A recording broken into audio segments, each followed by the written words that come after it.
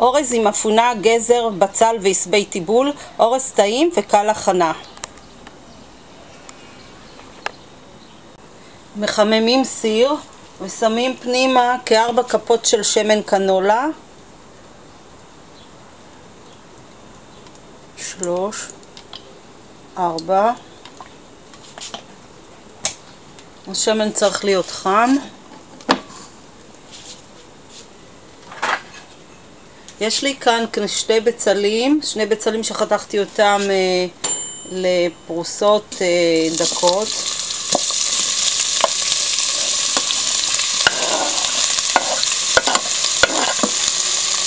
אני מטגנת משהו כשלוש, ארבע, חמש דקות עד שהם אה, טיפה מזיבים אה, ומשנים את הצבע לשקוף.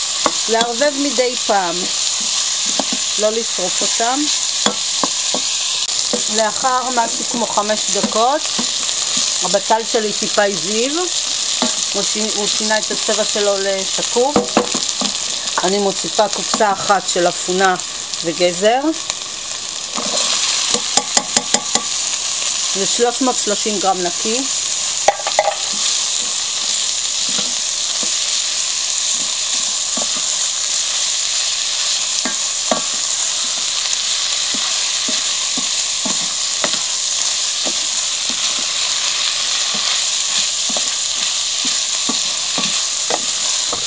אני מערבבת כרבע דקה בערך. זהו.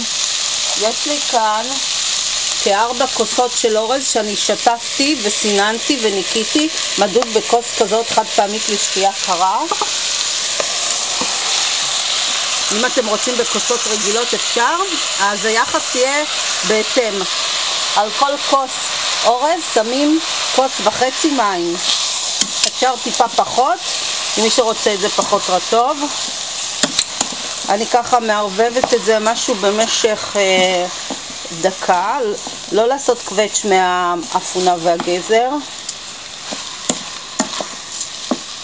לאחר כדקה של ערבוב, אה, אני מוסיפה כחמש וחצי כוסות מים מדוד בכוס חד פעמי לשתייה קרה. אה, זה על כל כוס אורז, כוס וחצי מים. אבל מכיוון שהאפונה היא לחה וגם הבצל לח, אז פשוט הוספתי רק חמש וחצי כוסות כאלה. אני מוסיפה כשתי כפיות שטוחות של אורז. בואו נוסיף כפית וחצי ונראה לאחר מכן של מלח, סליחה, פלפל שחור, קצת.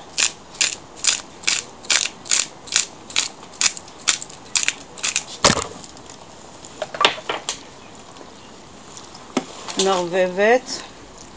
צריך לטעום את המים, המים צריכים להיות מאוד מלוכים, ככה נדע שהאורז יהיה מלוח כמו שצריך.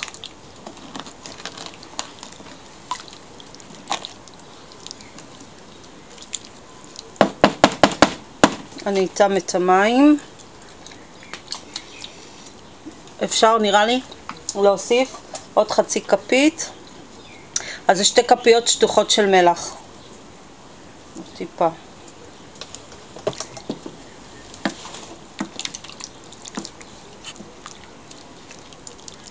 זהו, אני מביאה את זה לידי רתיחה, וכשהמים uh, מתחילים קצת uh, uh, להיספק בתוך האורז, אני מנמיכה את האש ואני מבשלת משהו כ-17 עד 20 דקות על אש נמוכה.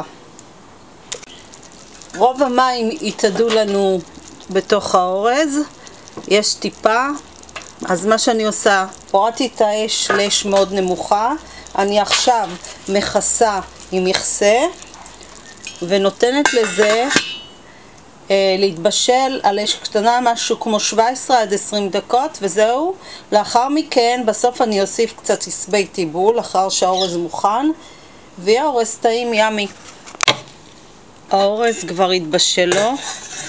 אני עכשיו רוצה להוסיף כחצי כוס, שלושת רבעי כוס של אה, שמיר קצוץ.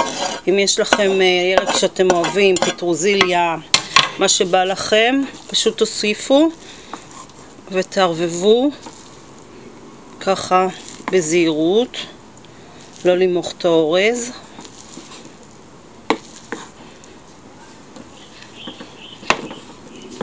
זהו, ויש לכם אורז עם אפונה וגזר. בצל ועשבי טיבול.